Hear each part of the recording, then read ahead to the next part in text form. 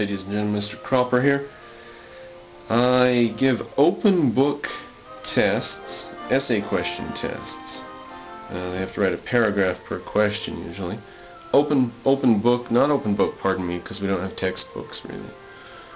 Open note tests, and they have detailed notes.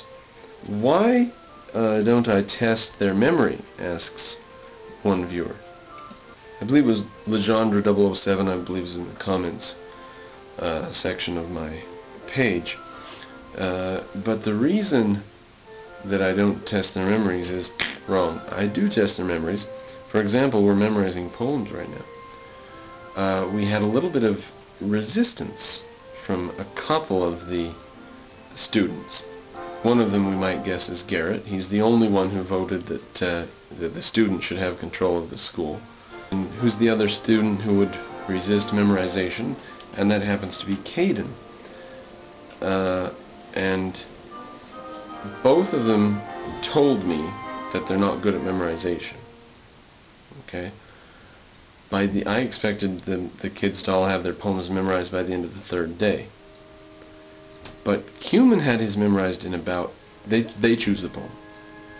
Cuman had his memorized in about 20 minutes, maybe. Uh, Brandon in about 30.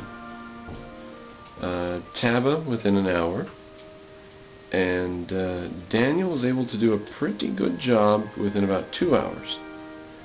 And we worked on him and came back and did recess and worked on him and came back and stuff. And uh, we had some problem with Garrett wouldn't even try. He just told me that uh, he can't memorize things. He said, I have a bad memory, I can't remember things. He said, I forget what I had for breakfast yesterday. And I said, I know, everyone's bad at memorizing. No, no, no one can memorize anything. Now uh, read your poem. Read it seven times, and read it to me seven times, and then I hold it, and I give them hints, and they stumble through it, and then I give it back to them, and they read it to me once or twice more. And it's a poem that they chose and they like. And uh, Caden had a bit of resistance on his. He was really insistent, and he kept mentioning that Cuman uh, is smarter than him, I think he said. Or Cuman's definitely, definitely said Cuman's better at this stuff.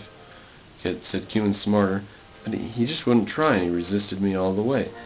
And then just to prove that he didn't want to do it, he stopped on the pronunciation of one of the words for about five minutes. I had to spell the word out very carefully, letter by letter. It was very tedious, and um, it's uh, I, I have not broken him of the habit of giving completely irrelevant answers, but I've cut it down drastically. And I think I've improved his behavior drastically, but here is a bizarre situation. However, he has memorized the poem after the second day. I expected them all to have it within three days for me. Second day, even Caden has memorized his. Garrett had his that day once I finally got him to read it through. He read the poem all the way through several times, then I read it to him a couple times, then uh, I had him read it to me again, then he had to try it, then I gave him hints, then eventually I do it without giving him any hints. Uh, a few of them were a bit scared at first, but they all love it. They take to it. It's fine. Memorization is just fine.